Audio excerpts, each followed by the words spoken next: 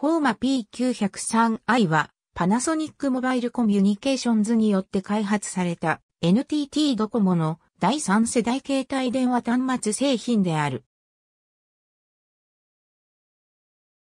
フォルムは P902i を引き継いだカスタムジャケットである。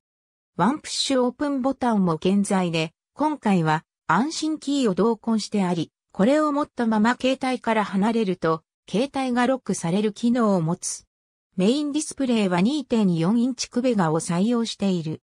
オーディオプレイヤーとして SD オーディオに対応し、連続70時間再生が可能である。また、903シリーズで唯一、Bluetooth も搭載しており、ワイヤレスイヤホンなどにも対応している。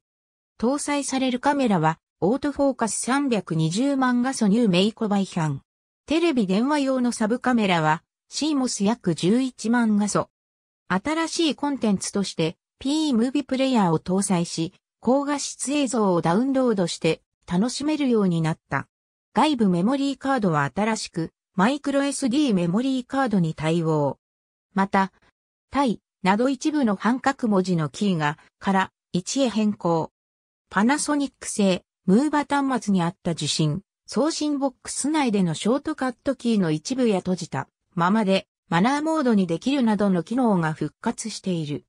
文字入力も変更点があり、入力候補に選択時に英数化な切り替えが行えるようになった。また、入力候補も3行2列から4行2列表示に変更された。この端末のボタンは白色に光り、設定によって明るい場所では光らないようにすることも可能。また、カメラ部下方にはイルミネーションが発光可能なイルミネーションライトが装備されており、多種多様なバリエーションの発光パターンを選択できる。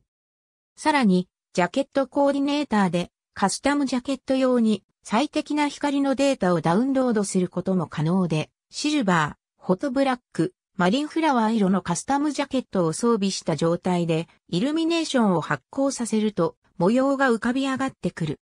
アイアプリは、ぷよぷよんコラムス、携帯コーディネーターと同期専用アプリであるダージオブケルベロスロストエピソードファイナルファンタジー 7- をプリインストールしている。フォーマ 903i シリーズ共通の機能として、着歌フル、GPS、メガアイアプリ、IC カードによる認証、3G ローミングに対応した。着せ替えツールは非対応。また、903シリーズでは SO903i と共にフルブラウザに非対応である。オレンジオレンジのみボタンのフォントが異なる。P903if、P903i、P703i、ソフトウェアアップデートを知らせ。ありがとうございます。